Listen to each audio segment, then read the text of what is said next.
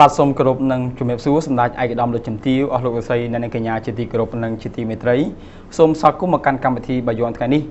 ដែលជាកម្មវិធីមួយតែងតែបានពិភាក្សាទៅលើប្រធានបទសំខាន់សំខាន់ដែលមានខ្លឹមសារតាក់ទងទៅនឹងយុវជនជាក់ស្ដែងកម្មវិធីបាយ័នថ្ងៃនេះបានលើកយកនៅប្រធានបទមួយដែលស្ដីអំពីសកម្មភាពរបស់ក្រុមគ្រូពេទ្យស្ម័គ្រចិត្តយុវជនសម្រាប់ដេជូ ដែលជាសកម្មភាពមួយ បានចូលរួមចំណែកយ៉ាងសកម្មនៅក្នុងកិច្ចការសង្គមដែលតាក់ទងទៅនឹងវិស័យសុខាភិបាលហើយនៅក្នុងកម្មវិធីបាយ័នថ្ងៃនេះក៏មានការអញ្ជើញចូលរួមជាវិក្កាមកិត្តិយសពីសំណាក់លោកវិជ្ជបណ្ឌិតស៊ូស៊ីផាណាដែលជាប្រធានក្រុមការងារគ្រូពេទ្យស្ម័គ្រចិត្តយុវជនសម្រាប់ជូដែលលោកមានវត្តមាននៅក្នុងស្ទូឌីយោនេះដូច្នេះចង់ដឹងអំពីខ្លឹមសារ ក៏ដូចជាសកម្មភាពក៏ដូចជាសមិទ្ធផលការងារសំខាន់សំខាន់នៃក្រមការងារគ្រូពេទ្យស្ម័គ្រចិត្តយុវជនសម្រាប់អេជូមានខ្លឹមសារចំណានោះសូមអញ្ជើញតាមដាននៅកិច្ចពិភាក្សារវាងខ្ញុំបាទជាមួយនឹងលោកបញ្ជាបណ្ឌិតស៊ូស៊ីផាណាដូចតទៅបាទបាទសូមជំរាបសួរលោកបាទបាទអរគុណណាស់ចំពោះការអញ្ជើញចូលរួមរបស់លោកនៅក្នុងកម្មវិធីបាយ័នថ្ងៃនេះ បាទជាដំបូងនៅក្នុងនាមលោកជាប្រធានក្រុមការងារគ្រូពេទ្យស្ម័គ្រចិត្តយុវជនរបស់សម្រាប់ដេជោតើលោកមានអ្វីដែលជាការចាប់អារម្មណ៍ជាដំបូងសូមអញ្ជើញបាទបាទអឺជាជាបឋមខ្ញុំសូមអរថ្លែងអរគុណដល់នាយិកាស្ថានីយ៍វិទ្យុនិងទូរទស្សន៍បាយ័នដែលបានផ្ដល់កិត្តិយសឲ្យខ្ញុំបាទបានចូលរួមក្នុងកម្មវិធីបាយ័នថ្ងៃនេះបាទបាទខ្ញុំបាទជាអមឌិតស៊ូស៊ីផាណា ជាប្រធានក្រុមក្រុមគ្រូពេទ្យ បាទស្ម័គ្រចិត្តយុវជនសម្ដីតេជោថ្ងៃនេះខ្ញុំសូមទាញនៅចំណាប់អារម្មណ៍ផ្ទាល់ខ្លួនតាក់ទងនឹងការងារសង្គមដែលបានចូលរួមក្នុងកិច្ចការសង្គមបាទហើយជាកិច្ចការមួយដែលចូលរួមដោយឆន្ទៈនិងនិងភាពអឺនឹងមានភាពពេញចិត្តនឹងចូលរួមក្នុងការងារសង្គមបាទខ្ញុំសូមរំលឹកផងដែរតកតងនឹងក្រុមការងាររបស់ យើងខ្ញុំបាទដោយតកតងនឹងការជាការងារមនុស្សធម៌ប្រកបដោយមនុស្សធម៌បាទគឺជាខ្ញុំសូមរំលឹកផងដែរតកតងប្រវត្តិនៃក្រុមរបស់យើងខ្ញុំបាទបាទអឺដោយក្តីស្រឡាញ់និងទឹកចិត្តមនុស្សធម៌ប្រកបដោយព្រមវិធម៌របស់សម្ដេចតេជោហ៊ុនសែននិងសម្ដេចកេតិប្របណ្ឌិតដែលមានចំពោះប្រជាពលរដ្ឋទៅតាមជនបទ បាទលោកក៏បានបង្កើតនៅក្រុមគ្រូពេទ្យស្ម័គ្រចិត្តយុវជនសម្ដេចជូក្រោមកំណត់ពុជដើមរបស់អាយដាមបណ្ឌិតហ៊ុនម៉ាណែតនិងលោកជំទាវក្នុងគោលបំណងបម្រើសុខភាពដល់ប្រជាពលរដ្ឋតាមទីជនបទបាទដោយមិនគិតកម្រៃនិងមិនប្រកាន់ពុជសាសពណ៌សម្បល់និងនិន្នាការនយោបាយទេតើតងចំណាប់អារម្មណ៍ជាកិច្ចការមួយល្អសម្រាប់សង្គមដើម្បីជួយប្រជាពលរដ្ឋក្នុងនៃមនុស្សធម៌បាទ ដោយសារមានការស្រឡាញ់អាណិតនិងពេញចិត្តនៅការដឹកនាំដ៏ឆ្លៀវវៃរបស់រាជរដ្ឋាភិបាលជាពិសេសសម្ដេចតេជោហ៊ុនសែនបាទក្រុមគ្រូពេទ្យយើងខ្ញុំមានការចូលរួមពីសមាជិកជាច្រើន ជាពិសេសពីអស់លោកសាស្ត្រាចារ្យវិជ្ជាបណ្ឌិតឯកទេសវិជ្ជាបណ្ឌិតតនបណ្ឌិតអសុតបណ្ឌិត ព្រមទាំងបងប្អូនជានិស្សិតនៃសាកលវិទ្យាល័យវិទ្យាសាស្ត្រសុខាភិបាលដែលពួកគាត់ចូលរួមដោយឆន្ទៈផ្ទាល់ណាដោយការពេញចិត្តដោយការស្រឡាញ់ដោយមិនមានការបង្ខិតបង្ខំហើយមិនមានការយកកម្រៃទេអញ្ចឹងការងាររបស់គាត់ដែលគាត់ចូលរួមនេះគឺគាត់ចូលរួមក្នុងការអស់ពីចិត្តបាទក្នុងការសង្គមបានន័យថាគាត់សប្បាយរីករាយនឹងចូលរួមក្នុងកិច្ចការជាមួយរាជរដ្ឋាភិបាលក៏ដូចជាសម្ដេចហ៊ុនសែនបាទ អញ្ចឹងពីព្រោះថាគាត់យល់ឃើញថាជាការងារមួយជួយប្រជាពលរដ្ឋជាពិសេសប្រជាពលរដ្ឋតាមទីជនបទដែលពេលខ្លះគាត់មិនបានគាត់នៅទីឆ្ងាយទីតាមជនបទពេលខ្លះគាត់ពិបាកនឹងមកទីប្រជុំជនឬក៏មកទីក្រុងអញ្ចឹងយើងនឹងបម្រើសេវាសុខភាពរបស់គាត់ដល់ទីកន្លែងផ្ទាល់នេះជាកិច្ចការដែលក្រុមគ្រូពេទ្យដែលជាសមាជិករបស់ក្រុមគ្រូពេទ្យរបស់គ្នាខ្ញុំពេញចិត្តនឹងនឹងធ្វើនឹងដោយឆន្ទៈបាទ បាទអរគុណចំពោះការចាប់អារម្មណ៍របស់លោកជាដំបូងតកតងទៅនឹងសកម្មភាពរបស់ក្រុមការងារគ្រូពេទ្យសមាជិកយុវជនសម្រាប់ដេជូដែលដឹកនាំដោយលោកផ្ទាល់ហើយអ្វីដែលលោកបានមានប្រសាសន៍ក៏ដូចជាបានចាប់អារម្មណ៍ជាដំបូងនេះគឺជាការឆ្លុះបញ្ចាំងអំពីឆន្ទៈដ៏មុតស្រួចរបស់សកម្មភាពរបស់យុវជនយើងនៅក្នុងកិច្ចការសង្គមដែលចូលរួមជាមួយនឹងរាជរដ្ឋាភិបាលកម្ពុជានៅពេលបច្ចុប្បន្ននេះបាទអរគុណទន្ទឹមនឹងចំណាប់អារម្មណ៍របស់លោក ខ្ញុំបាទសូមជំរាបសួរលោកតកតងទៅនឹងសមិទ្ធផលសំខាន់សំខាន់ដែលក្រុមការងារគ្រូពេទ្យសមាជិកយុវជនសម្ដេចតេជោបានសម្រេចបាននាពេលកន្លងមកតើអ្វីទៅដែលជាសមិទ្ធផលសំខាន់សំខាន់សូមលោកអញ្ជើញរៀបរាប់ដោយដោយសង្ខេបដោយសារតែពេលវេលារបស់យើងមានរយៈពេលខ្លីប៉ុន្តែសង្ឃឹមថានឹងមានសកម្មភាពជាច្រើនក៏ដូចជាសមិទ្ធផលជាច្រើនដែលកើតចេញពីការខិតខំប្រឹងប្រែងរបស់ក្រុមការងាររបស់លោកដែលដឹកនាំដោយលោកផ្ទាល់បាទសូមអញ្ជើញបាទបាទ អរគុណនៅសំណួរដែលមានអត្ថន័យតើតងសកម្មភាពដែលខ្ញុំបានសម្បជាជាសមិទ្ធផលដែលខាងក្រុមការងារយើងខ្ញុំបានទទួលបានកន្លងមកគឺសកម្មភាពរបស់ខ្ញុំបានទទួលយ៉ាងត្រចះត្រចង់បាទពីព្រោះថាសកម្មភាពនោះស្គាល់ជាងសូមរំលឹកឡើងវិញបន្តិចតទៅនឹងការកំណើតយើងចាប់ផ្ដើមការផ្ដួចដើមគំនិតដោយអាដាមនិតនៅថ្ងៃទី27ខែធ្នូ2012បង្កើតក្រុមគូពេទ្យស្ម័គ្រចិត្តនេះឡើង អញ្ចឹងយើងធ្វើសកម្មភាពត្រឹមតែរយៈពេលប្រហែលខែយើងអាចព្យាបាលមានជំងឺរហូតដល់ជិត70000នាក់បាទដោយរាប់ទាំងការព្យាបាលជំងឺមាត់ធ្មេញផងនិងជំងឺភ្នែកផងដល់រាប់ពាន់នាក់រាប់ពាន់នាក់ដល់ប្រជាជនទៅតាមទីជនបទនៅក្នុងខេត្តកំពង់ឆាមបាទនេះជាចក្ខុវិស័យដ៏ល្អសម្រាប់វិស័យសុខាបាលជាពិសេសគឺសុខភាពរបស់ប្រជាពលរដ្ឋតាមទីជនបទដែលយើងចុះទៅព្យាបាលណាផ្ទាល់ ក្នុងសកម្មភាពរបស់យើងដោយមើលឃើញនៅប្រជាជនប្រជាពលរដ្ឋដែលគាត់នៅតាមទីជនបទគាត់មានជំងឺធ្ងន់ធ្ងរដែលគាត់ពេលខ្លះគាត់គ្មានលទ្ធភាពនឹងមកព្យាបាលនៅតាមទីប្រជាជនឬក៏មកទីក្រុងបាទយើងក៏បានយកពួកគាត់យកពួកគាត់យកមកព្យាបាលបន្ត ឬក៏វះកាត់បន្តនៅទីក្រុងបាទដោយយើងមានការចូលរួមពីវិជ្ជាបណ្ឌិតដែលមានបទពិសោធន៍ខ្ពស់និងល្បីៗនៅតាមស្ថាប័នរដ្ឋបាទឯកជនបាទអង្គការដូចជាមានការចូលរួមពីស្ថាប័នរដ្ឋ បាទដូចជាមន្ទីរពេទ្យកាលម៉ែតមន្ទីរពេទ្យមិត្តភាពកម្ពុជាសូវៀតបាទមន្ទីរពេទ្យប្រសិទ្ធនុមន្ទីរពេទ្យកេតុមេលាបាទនិងសមាជិកខ្លះគាត់បានចូលរួមពីនាយកដ្ឋានពេទ្យការងារក៏ចូលរួមសកម្មដែរក្នុងសកម្មភាពរបស់យើងរាល់ប្រជាជនដែលមានលទ្ធភាពដោយសារគាត់មានជំងឺធន់នៅគាត់មានលទ្ធភាពព្យាបាលនៅទីកន្លែងពួកខាងក្រុមការងាររបស់យើងខ្ញុំក្រោមការដឹកនាំផ្ទាល់ផ្ទាល់ពីអាយដាមបណ្ឌិតដែលគាត់តែងតែមានព្រមវិហារធម៌សន្តោសប្រណីនិងមានលក្ខណៈមនុស្សធម៌គាត់ក៏ជួយជុំជ្រែងនិងឧបត្ថម្ភទាំងស្មារតីនិងសម្ភារៈដល់អ្នកជំងឺទាំងឡាយដែលមានសភាពធ្ងន់ធ្ងរមកព្យាបាលបន្តឬក៏វះអាកាត់បន្តនៅភ្នំពេញបានចំនួនជាជិត100នាក់ហើយបាទនេះជាសកម្មភាពប្រកបដោយភាពចាស់ទៅចង់ដែលយើងបានបានធ្វើកន្លងមក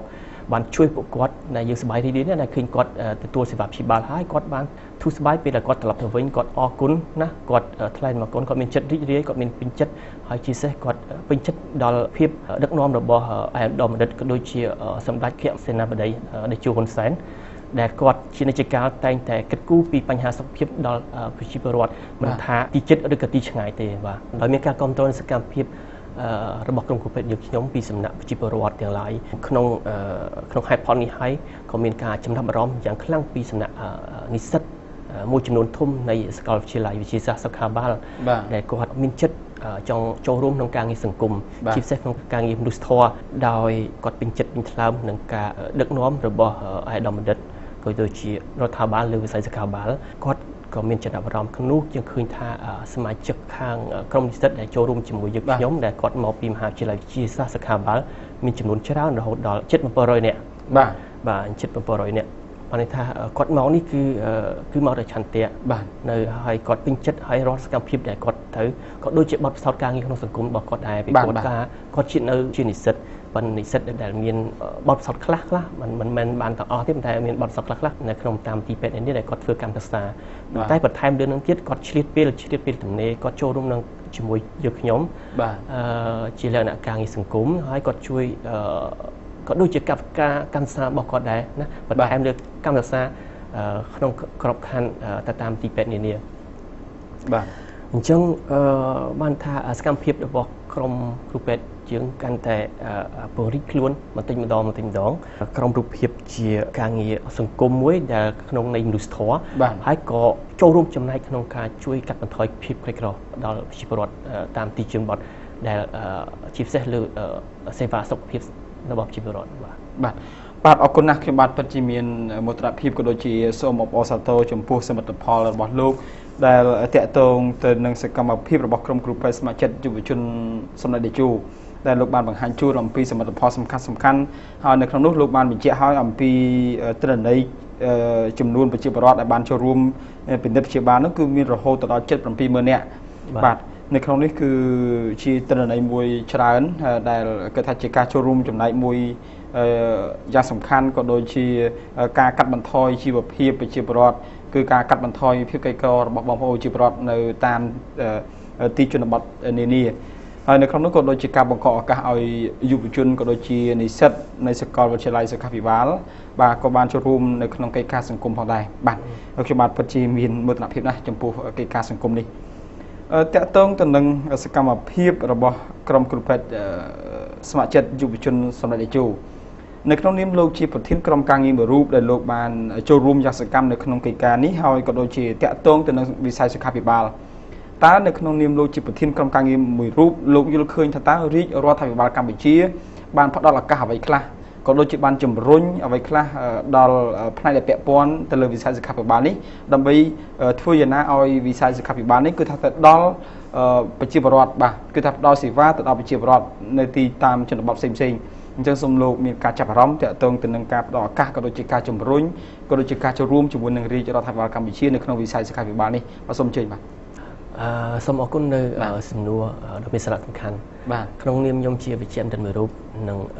ក្នុងនាមខ្ញុំជាប្រធានក្រុមគ្រូពេទ្យស្ម័គ្រចិត្តអឺខ្ញុំសូមថ្លែងអរគុណដល់អាយដាមបណ្ឌិត និងលោកជំទាវអឺដែលជានិច្ចកាលគាត់តែងតែចុះសួរទុករាល់សកម្មភាពបាទដែលយើងបានធ្វើកន្លងមកស្ទើរតែគ្រប់ស្តុកនៃ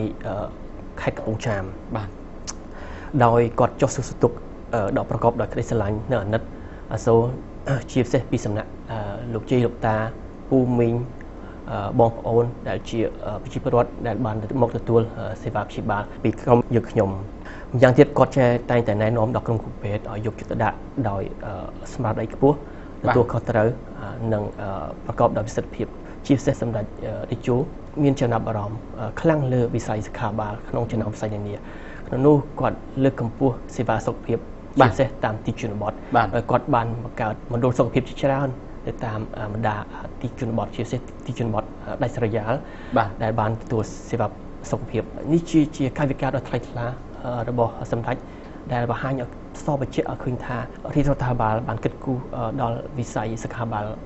ជាចម្បងវិស័យផ្សេងៗទៀតជាពិសេសគឺដើម្បីឲ្យប្រជាពលរដ្ឋបានទទួល សេវាព្យាបាលគ្រប់គ្រប់គ្នាដោយមិនគិតកម្រៃជាពិសេសចំពោះប្រជាពលរដ្ឋក្រីក្របាទនេះជាកាយវិការដ៏បវររបស់រាជរដ្ឋាភិបាលក្រោមការដឹកនាំដ៏ជ្រាលជ្រៅរបស់សម្ដេចបាទអរគុណណាស់ចំពោះការយល់ឃើញក៏ដូចជាការបង្ហាញទស្សនៈផ្ទាល់ខ្លួនរបស់លោកតកតងទៅនឹងការចូលរួម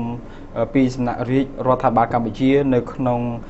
សកម្មភាពរបស់ក្រុមគ្រូពេទ្យសមាជិកយុវជនសម្រាប់តេជោដែលជាការលើកទឹកចិត្តក៏ដូចជាការជំរុញឲ្យយុវជនរបស់យើងកាន់តែមានសកម្មភាពខ្លាំងក្លាបន្ថែមទៀតនៅក្នុងកិច្ចការសង្គមអំបញ្ញនេះលោកបានបញ្ជាក់ខ្លះខ្លះហើយតកតងទៅនឹងសកម្មភាពរបស់យុវជនយើងនេះដែលឡៃគឺនិស្សិតនៃសាកលវិទ្យាល័យវិទ្យាសាស្ត្រសុខាភិបាលអឺដោយសារតែយើងឃើញថាយុវជនយើងគឺជាកម្លាំងស្នូលមួយនៅក្នុងការប្រទេសជាតិ អញ្ចឹងនៅក្នុងនាមលោកជាប្រធានក្រុមការងារមួយរូបនៅក្នុងការងារមនុស្សធម៌ផ្នែកសុខាភិបាលនេះតើលោកមានអ្វីដែលជាអនុសាសន៍អ្វីដែលជាការជំរុញបន្ថែមដើម្បីឲ្យយុវជនរបស់យើងនឹងកាន់តែមានភាពពេញចិត្តពេញថ្លើមក៏ដូចជាមានទឹកចិត្តចូលរួមកាន់តែសកម្មថែមទៀតនៅក្នុងកិច្ចការសង្គមនេះ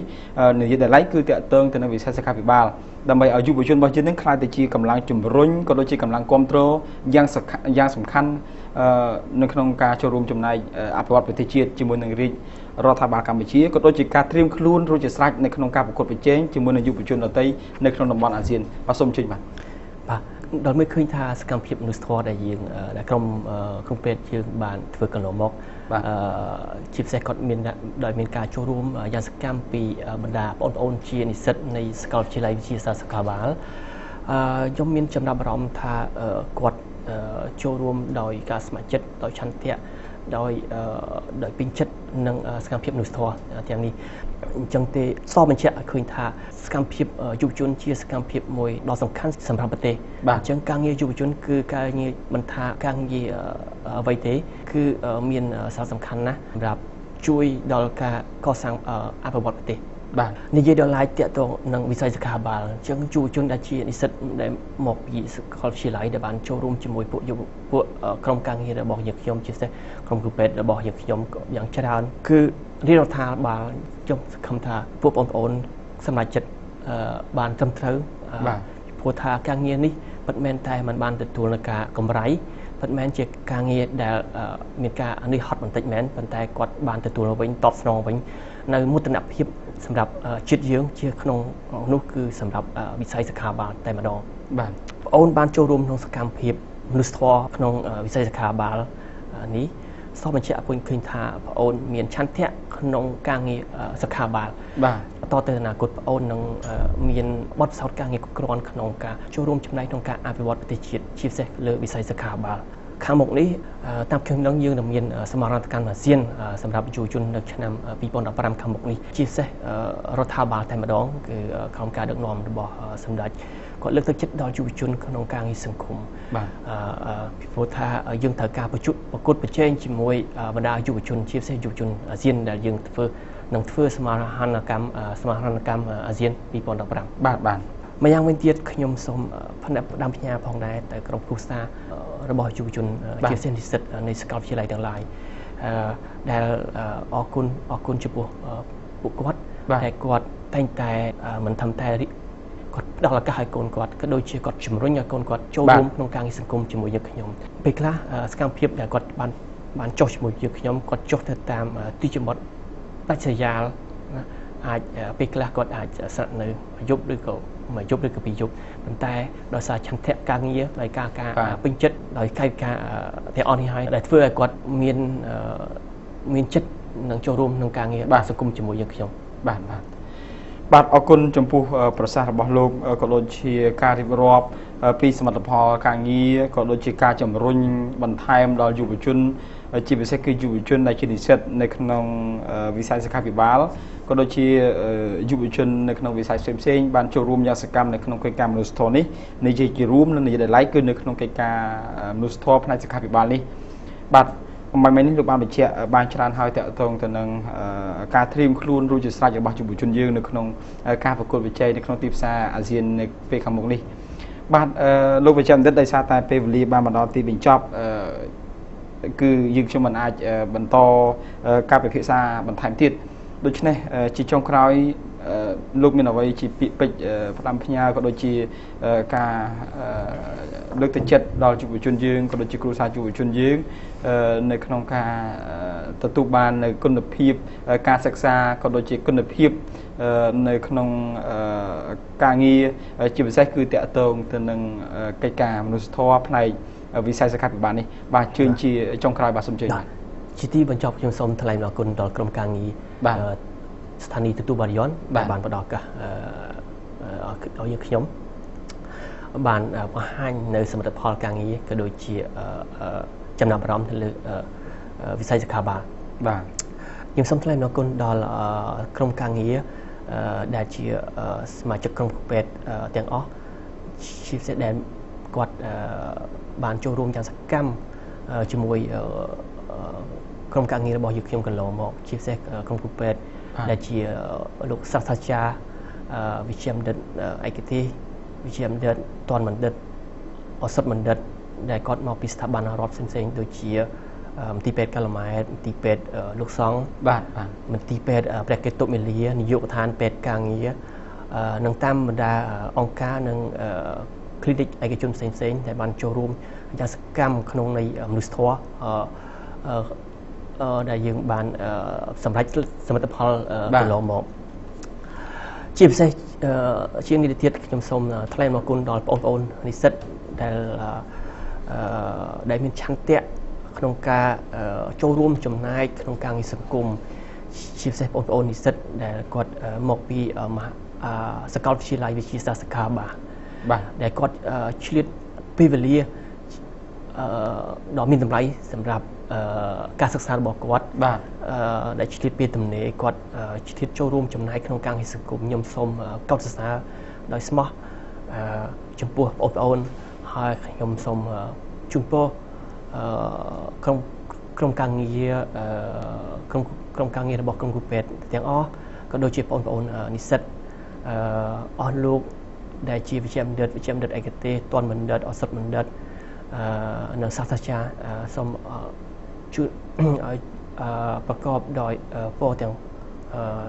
4 4ប្រការគឺអាយុវណ្ណៈសុខៈពលៈកំបីគ្លៀងគ្លេឡើយអឺម្យ៉ាងវិញទៀតអឺខ្ញុំសូមអឺឆ្លៀតឱកាសនេះថ្លែងអរគុណអឺអឺដល់ថ្លែងអរគុណដល់អាដាមបណ្ឌិត និងលោកជំទាវជានិច្ចកាលក៏តែងតែគិតគូរពីបញ្ហាសុខភាពជាពិសេសប្រជាជនតាមជនបទបាទដាច់ស្រយាលបាទគាត់តែងតែគិតគូរហើយពីបញ្ហាសុខភាពហើយរាល់ការដែលសកម្មភាពដែលយើងបានទទួលសម្រិទ្ធផលយ៉ាងត្រចះត្រចង់គឺដោយសារការជួយជំជ្រែង